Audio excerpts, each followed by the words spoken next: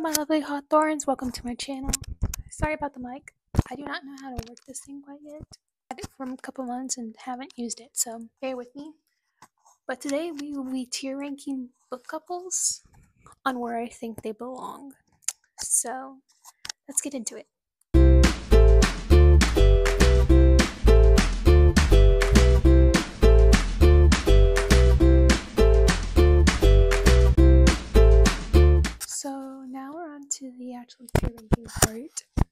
As you can see, we have five categories. We have soulmate, which pretty much means that these characters absolutely were meant to be together. We have cute, which is pretty explanatory. You could have been better. I like the couples, but just wish there was more to them. Just not feeling it. You had the potential, but just didn't hit that mark. And then just no. Didn't like the couples, did not like them being together. They were better off with someone else. So the first one we have is Xaden and Violet from Fourth Wing. I think I'm gonna be putting them more in the cute range because I didn't quite love them together, but didn't hate them together. We have Tris and Four from Divergent. I'm gonna put them, I think, they could have been better because I don't think they were better than Xaden and Violet, but they were still really good. One, they were still a good couple, and I quite enjoyed reading one about them. They just had a lot of bumpy stuff in their relationship and more things that could have been prevented. Next is Inej and Kaz. These characters will be going in soulmates. I love their characters. They deserve to be together all the way. Next, we have Nash and Libby from the Inheritance game. I honestly think they're going to probably be in a cute range. They deserve to be together all the way. I enjoyed them a lot during the whole book. Of course, there wasn't a whole lot to them in the book with being a couple, but they definitely, I definitely think they would be a cute couple. Percy Jackson and Annabeth. I have not read full Percy Jackson book, my bad. But a lot that I've heard about them, I would probably put them in the cute category. I think they'd be cute together, but since I haven't really read the book, I can't really full on say. So now we have Ravi and Pip, soulmates. All the way, there's nothing to explain there really. I just think they should together be together honestly. They were cute throughout the book. I loved it.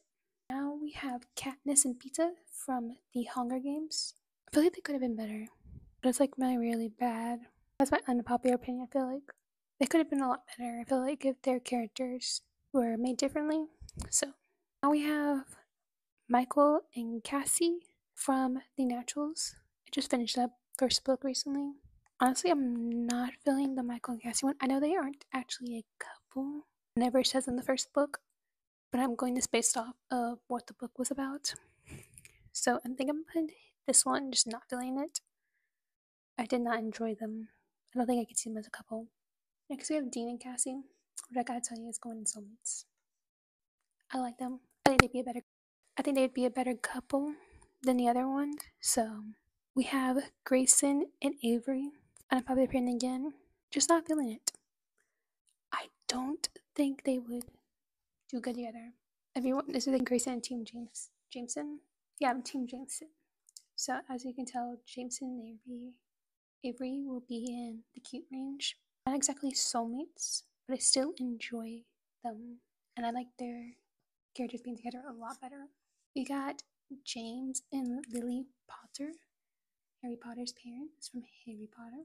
There's not much in the book to go off of, but what I've heard, it could have been better. They could have been better, I think. Put more details into their love life. But again, the book is not based off them, so don't come at me for that.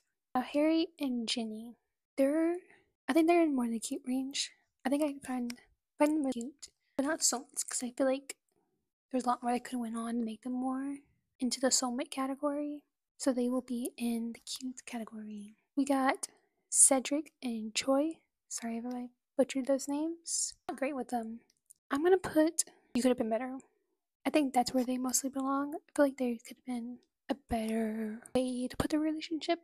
So Ron and Hermione. I said, I gotta go. hold up. Wait a minute. Something ain't right. Perfectly fit each other a lot. So then I have. We'll do a range here.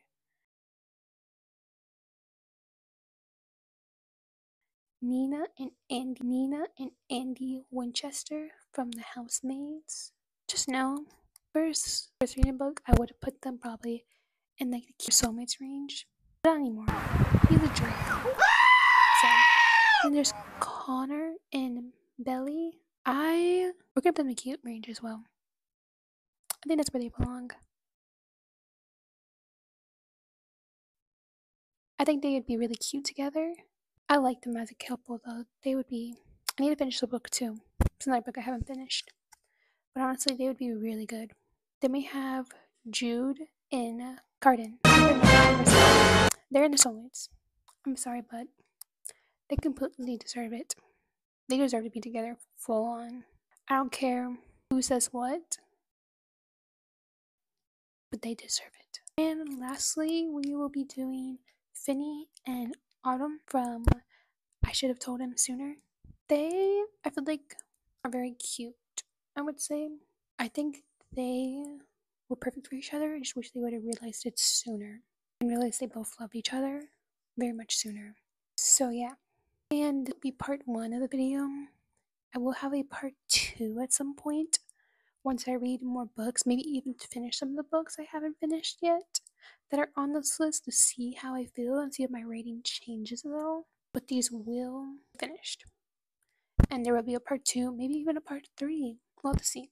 But thank you so much for watching. I hope you enjoy. And if you did, please like, subscribe, and comment. And have a great rest of your day. Stay safe out there. Bye.